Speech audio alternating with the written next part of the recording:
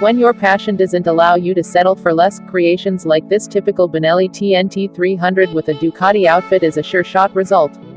The modification has been done in Vietnam and the body parts of the TNT 300 Street Fighter have been swapped with the actual Ducati 899 Panigale parts, keeping the underpinnings truly Benelli with the same frame and suspension components.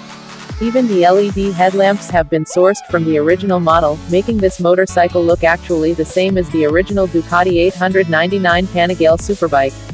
This replica looks so close to the actual model that a lot of bike enthusiasts would not be able to figure out that it's not an original Ducati. The performance has not been altered for the Benelli engine and it is still good for 38.26 bhp of maximum power.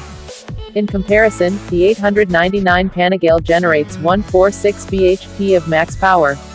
The smaller disc brakes of this modified TNT 300 do give a hint that it's not an actual model of the Ducati 899 Panigale but it's undoubtedly the closest possible replica of the original sport bike.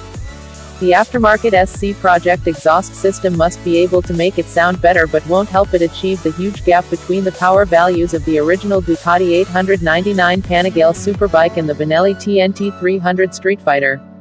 Benelli TNT 300 is a naked street fighter, providing a lot of options for customization in terms of fairing attachments than other machines which are sold with factory fairings. The owner's dream of owning a Ducati Panigale Superbike could have never been better lived than this one.